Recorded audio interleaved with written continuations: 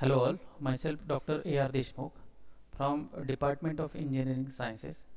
In this video, we are going to learn the concept basic principle of optical fiber from engineering physics subject.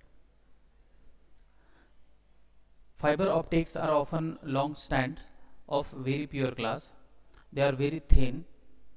They are about size of human hairs and due to the small size hundred to thousands of these uh, fiber can be arranged in a bundles uh, as we can see here.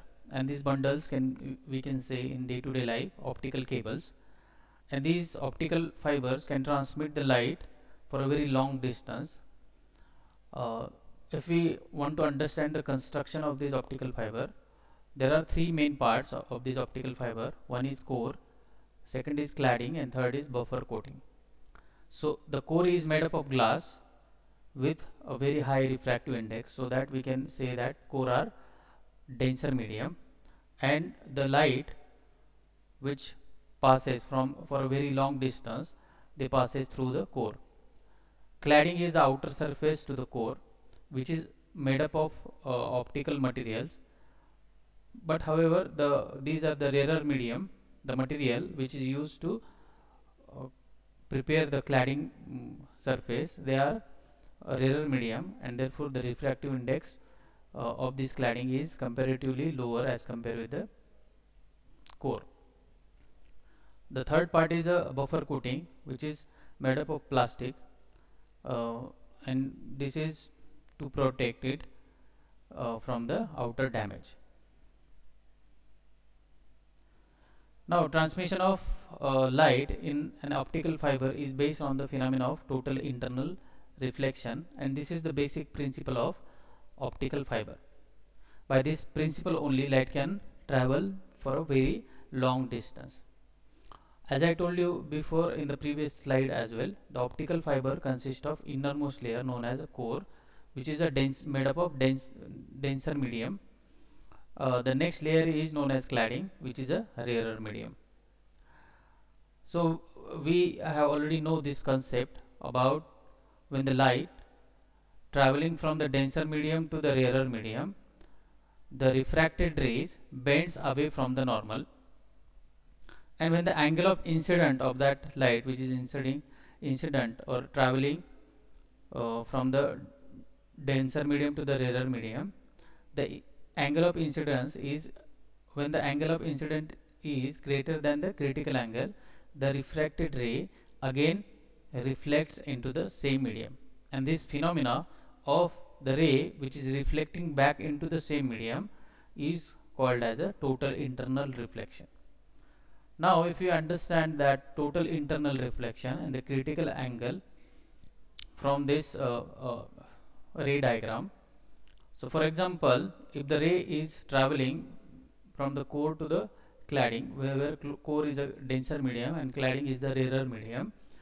So when the ray travel and incident at the interface between the core and cladding and transmitted through this or the refracted from this interface between core and cladding, it will always bend from the normal and this is the our um, normal. So it is bending away from the normal and when you increase this incident angle one stage will come as this ray is bending. So it is bends such that it will pass through the interface between the core and cladding.